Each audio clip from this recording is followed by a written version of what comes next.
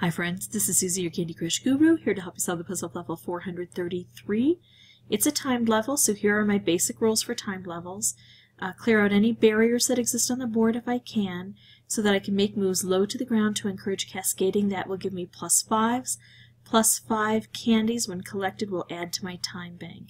I want to make as many specials as I can on the board, especially color bombs. And I want to match the color bomb visually with the biggest uh, number of candies that I can. So if red is the most popular candy color on the board, that's what I want to take out. But I don't have time to count, so I'm just going to guess at it. If I see that there are any ticking time bombs on the board, then matching the color bomb with the color of a ticking time bomb or two will really add to my points. Alright, so here we go. Let's see what we can do. This is my first playthrough for recording purposes. I see ticking time bomb dispensers right away. I also see a lot of licorice twirls, which is going to mean that it's going to be hard to create the, um, oh great, I'm not going to be able to use that special, probably.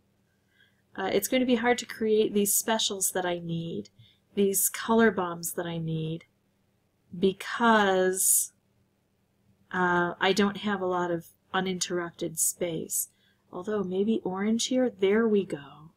So now before I use this, I want to open up as many of these ticking time bombs as I can and hope to get the right color matched. So I think I'm going to go orange. I was hoping to get one more. There we go. So we got some points. Now I better take that out before we run into trouble. I'm going to try to make another color bomb. And I want to match it with a color, but I'm in a little bit of trouble here. So look at this. I can't match this with green. I can't take this out in any way. If I continue, I will explode. However, ah, oh, stinking, I have another opportunity right here. Um, however, if I just let the time expire, I will get points for everything that I have on the board that's collected and unwrapped. I don't get these. Um, I could use a switch hand and make a color bomb, or I could use a, a hammer and take this out. I have plenty of time to do that.